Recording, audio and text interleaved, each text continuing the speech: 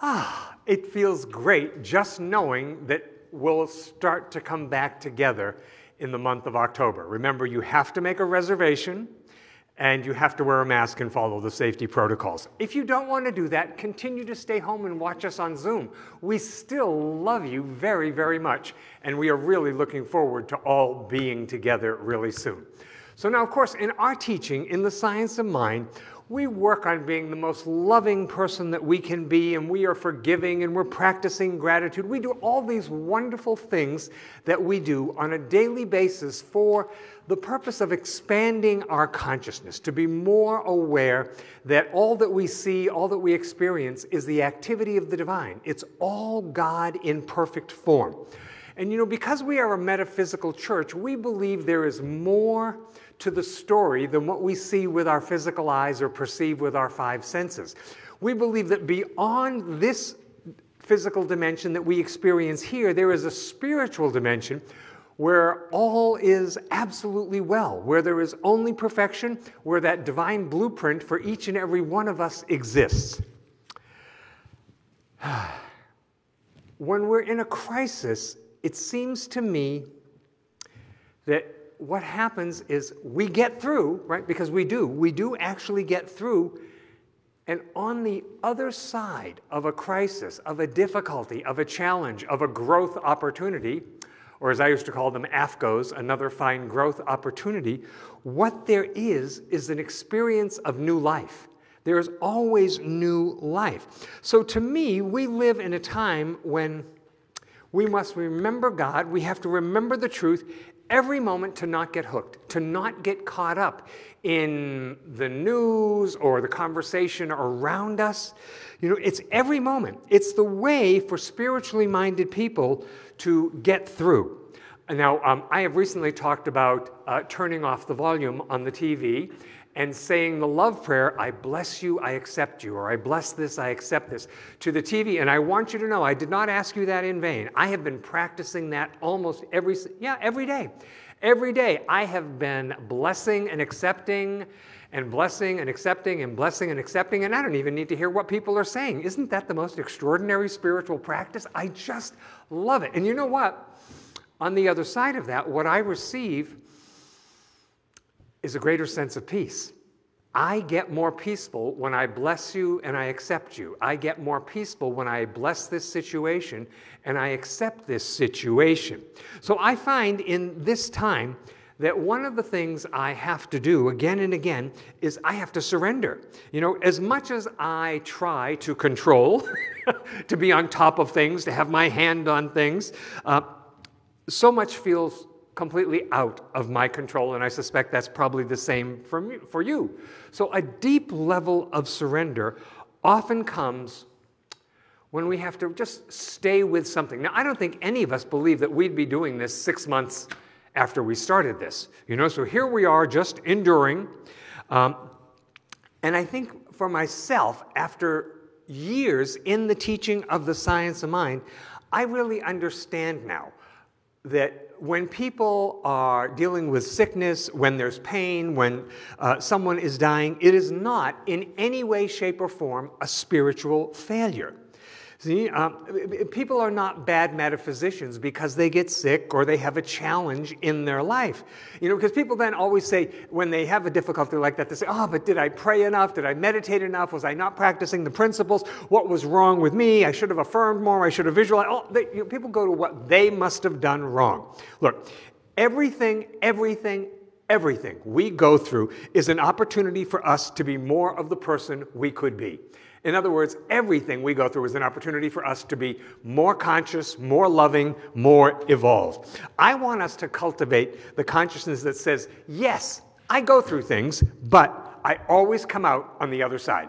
That's the consciousness I want us to cultivate in the week ahead.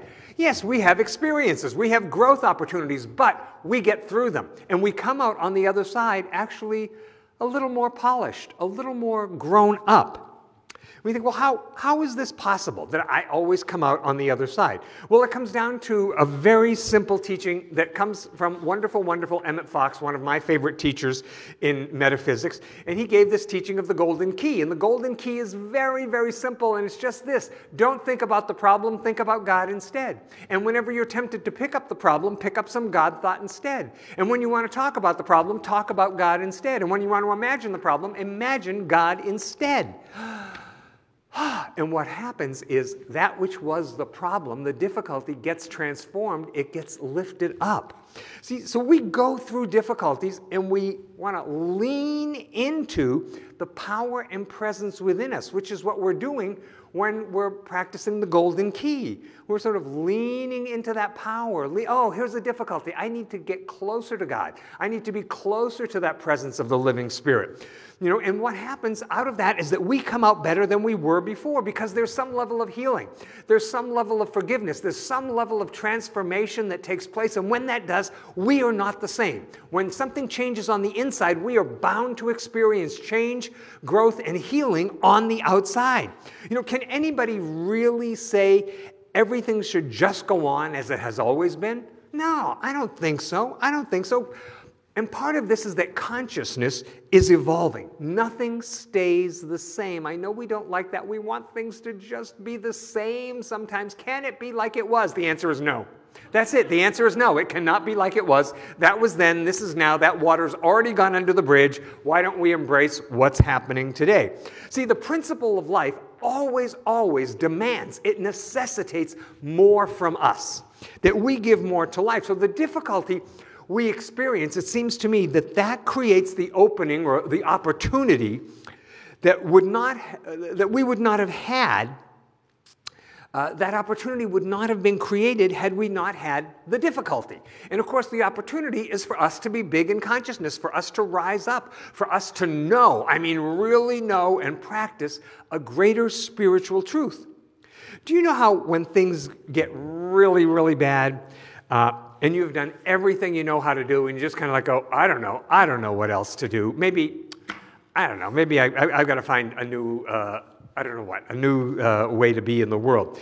Um, what I see today, there's just so much heartbreak in the world today. You know, I mean, uh, the portion of the congregation that I have been able to stay in touch with, people's lives continue on, and people continue to have big challenges. People have big, big difficulties. But I am certain that all that we are going through is to make us into better people. That's why we're going through it, so that all this potential that is within us can rise to the surface and be an expression in the world. The world could really benefit from the best that is within each and every one of us, don't you think? I certainly do. So maybe, like, um, the Greek myth, I love Greek mythology, and the ancient Greek myth of Sisyphus is that Sisyphus was doomed uh, to push a boulder up the side of a mountain, and every time when he got close, close, close to the top, the boulder would roll back down and he would have to start again.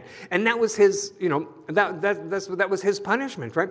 So his victory, though, thinking about it, his victory would be that if he is aware of what is being done, you know, that he is aware that the game is I push the boulder up and the boulder rose down. And that's just my dharma. That's just my life. That's what I'm here to do.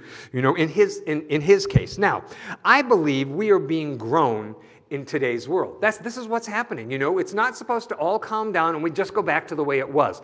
I'm certain that is not supposed to be. That we are supposed to evolve and grow and heal. We will be different on the other side of this. How will we be? Hopefully, hopefully, we will be kinder, we will be gentler, we'll be more loving, more conscious, more compassionate. Many things in our life are not in our control. What I do control, though, always is my attitude. What I do control is my response to situations. I am responsible for my experience of the experience. Let me say it that way. I'm responsible for my experience of the experience. The experience doesn't just happen to me or on me or at me in any way like that. We don't just have to react You know, I, I just know that we are more conscious than that.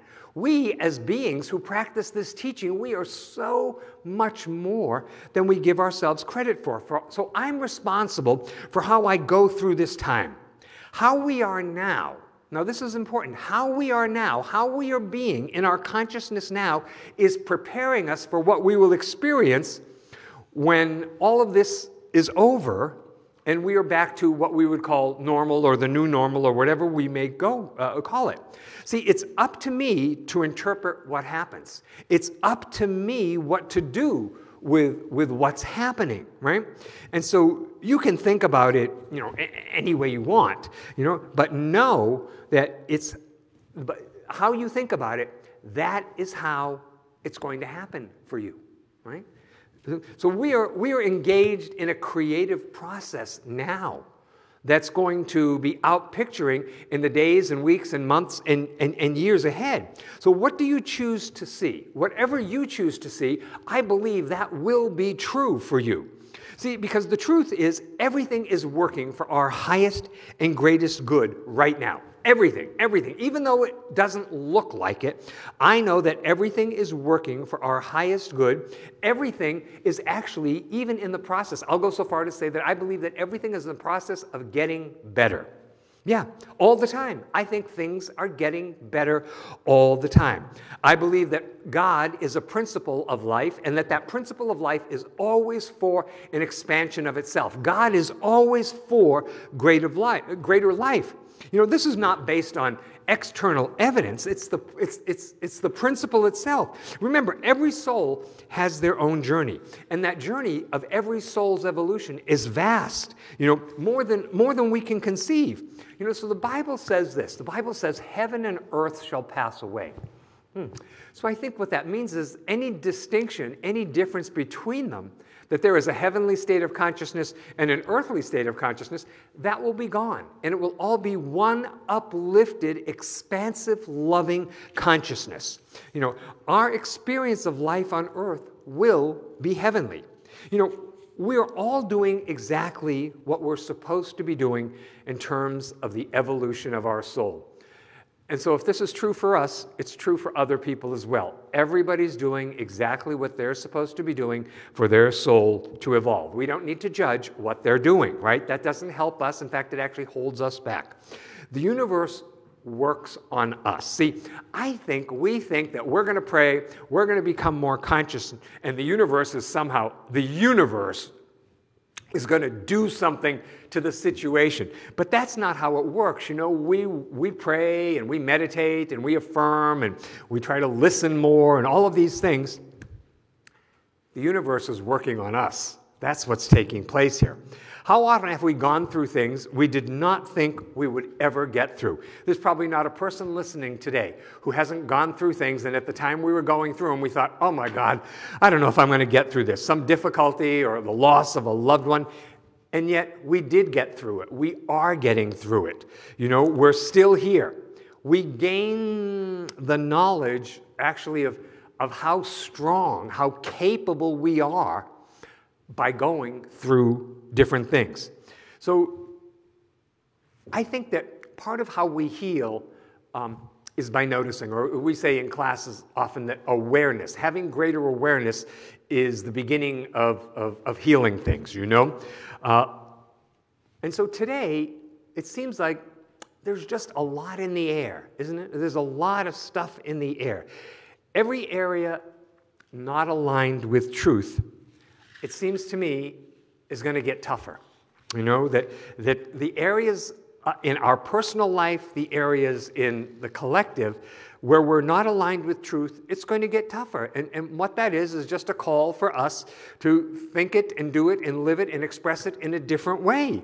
You know, that we have to trust and we have to surrender and we have to forgive and we have to call on God again and again and again. You know, the universe is demanding that we be spiritually mature. That's what I think is happening right now. The universe is saying, okay, you've had a really long adolescence, it's time to grow up. It's time to be really, really big. So let's do that now when we pray together. So if you would turn your attention inward with me for a moment, let's open our consciousness today to God's infinite presence, to God's loving grace, to God's perfect health, to God's boundless abundance, to all of the good that God is, we know is right where we are. We are connected with God, and therefore we are connected with the good of God. We are also all connected with each other on the unseen side of life. In the mind, in the heart of God, there's only one, and together we are all it. So, in this awareness, I speak the word for each and every one of us today. I speak the word that healing is happening spiritually, mentally, emotionally, and physically for each and every one of us. And any place in our life where we have felt separate or apart from God, I claim an awareness of oneness, that a wave of divine love is just washing over each and every one of us right now. And not only are we connected with God, but we feel our connection with each other in our community and all beings everywhere. So we include in our prayer today our family members and friends, the parents and children, all of those we love and hold near and dear. And we affirm that God is right where they are.